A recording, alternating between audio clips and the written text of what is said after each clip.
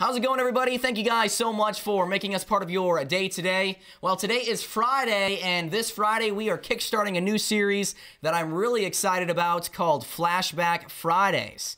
And what that is, is every single Friday, starting today and moving forward, uh, we are going to be playing a message from our man of God, Pastor Jesse Hailey, back when he was young, when he was my age or a little bit older. And it's going to be a fun time. We're going to have a lot of laughs and um, hear some good preaching. So please check it out and be ready for the next week because we're going to do this for the next few weeks. So, that being said, we'll just get right into uh, the message. This message took place in 2006 in Hovind, South Dakota. Enjoy.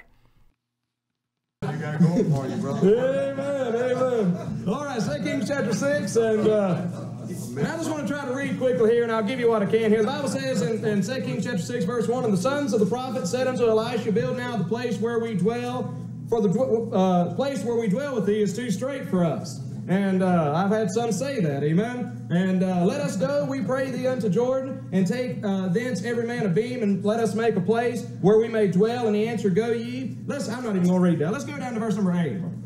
The Bible says, Then the king of Assyria warred against Israel and took counsel with his servants, saying, In such and such a place shall be my camp. And the men of God sent unto the king of Israel, saying, Beware that thou pass not such a, uh, such a place, for thither the Syrians uh, are come down. And the king of Israel sent to the place where, or which the man of God told him and warned him of, and he saved himself there not once nor twice. Therefore, the heart of the king of Syria was sore troubled for this thing, and he called his servants and said unto them, Will you not, will you not show me which of us is for the king of Israel? And one of his servants said, None, my lord, O king, but Elisha the prophet that is in Israel telleth the king of Israel the words that thou speakest in thy bedchamber. And um, I want to say some good things about this. Number one, this king, the king of Syria, the enemy of Israel, the enemy of God, he got together with his men, and the Bible says that he took counsel. That word would be the New Testament equivalent of the word wiles.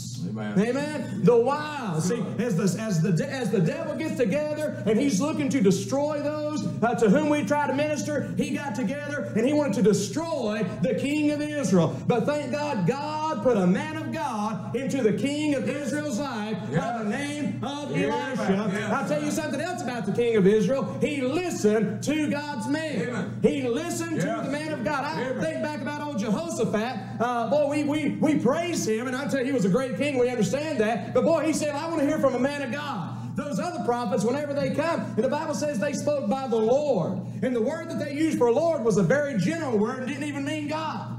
That's right. Amen. But then, then, then that's when Joseph said, Is there not a prophet of the Lord here besides? And that man, the, the true God. Amen. Well, they brought Micaiah, and that's great. He told the message, he preached the word of God. What King Jehoshaphat do? Not a thing. A. That's what a lot of people do. They call it, I want to hear the preacher. Yeah, tell me. I'm glad he told the truth. Amen. Now let's go back and do what he's going to do anyway. Amen. Anyway, that's on another mess. But he listened to the word of God. Listen, he had a man of God. And I want to tell you that there's people to the places that we've been called to that Satan wants to destroy.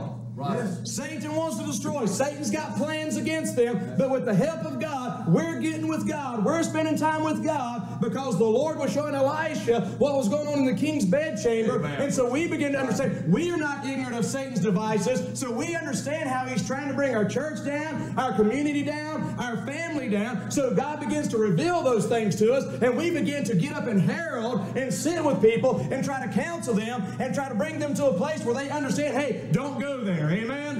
And I would preach. Amen. Don't go there. And I don't have time to preach all this. But I do want to say this God has put us in people's lives. But I want you to notice what happened. The more effective we begin to become in our ministry of trying to help people, and it's not even just with preachers, it's with homeschool moms. Amen. It's with parents, it's with Sunday school teachers. But I'm telling you, to the men of God, listen, He's put people in our lives. The more effective we are, just as Elisha was effective, and may God help me to be effective. In verse 13, here's what will happen. And he said, Go and spy out where he is. I wish I could preach about where would he find you. Amen? Yeah. Go see where he's at. Go, go spy out where he is, that I may send and fetch him. And it was told him, saying that he was in Dothan. I want to say this the enemy now turns his forces, Brother Williamson, in Maryland and in that community and says, okay, I'm, I'm pointing my efforts this way. I'm putting my battle in array against this man. And all of a sudden, the king of Assyria was after Israel. He was after the king. But now he says, I'm going after God's man. And I want to tell you today that that's exactly what we see. If we are going to be effective, if we are going to do something for God, listen, I'm telling you, God or, or Satan will come after us. And I hope he finds us in a place called Dothan. Dothan sound familiar? That's where they threw Joseph into the pit. Amen. Yes. Where was he at? He was at the cross. Amen. He was at Calvary. He was at a place of oh. death. Yes. He was at a place of suffering, but he was also at a place of resurrection. Amen. amen. Boy, I tell you, man, I tell you, he was in Dothan. Amen. Therefore, seeing he thither horses and chariots and a great host, and they came by night and compassed the city about. And when the servant of the man of God was risen early and gone forth, behold, an host compassed the city both with horses and chariots. And his servant said unto him, Alas, my master, how shall we do? And he answered, Fear not, for they that be with us are more than they that be with them. But and Elisha prayed and said, Lord, I pray thee, open his eyes that he may see. And the Lord opened his eyes uh, the eyes of the young man, and he saw. And behold, oh, the mountain was full of horses and chariots of fire around about. I just want to say a few things because I know I'm about to hear it, amen. But I want to say this it, when, whenever Satan does come against us, whenever he does surround us, we need to keep the right attitude. Yeah. Amen. amen. Listen, he didn't get worried about it. I mean, listen, he kept the right attitude. As a matter of fact, that. Okay. Amen. God bless you, brother.